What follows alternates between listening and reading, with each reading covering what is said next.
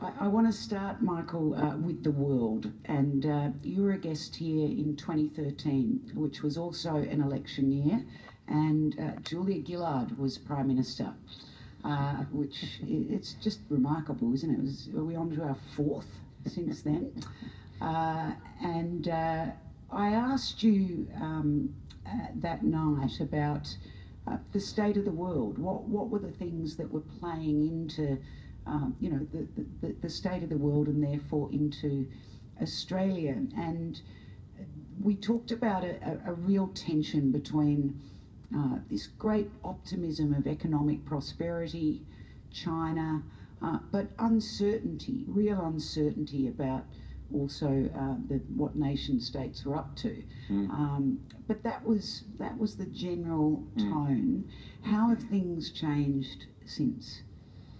Well, first of all, thank you for having me, Sally, and thank you to the Wheeler Centre, and thank you everybody for coming out on a beautiful Melbourne night for a conversation. Um, look, things are much worse.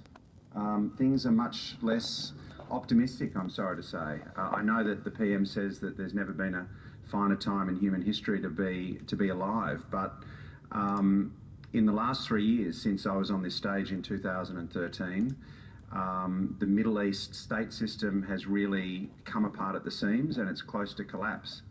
Um, you have hundreds and hundreds of thousands of people killed in the Middle East, um, millions displaced.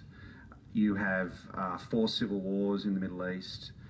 You have a liberal international order that is becoming less liberal, less international, and less orderly.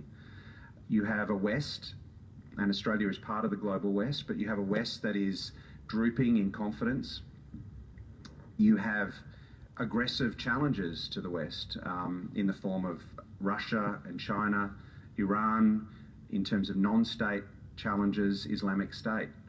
Um, there's, of course, still grounds for optimism here and there. And for example, the, the results of the Paris climate change talks, I think, were much more uh, encouraging than the Copenhagen talks a few years before we we chatted. But it's hard not to look out on the world with a very um, dark lens because there are lots of reasons to be gloomy.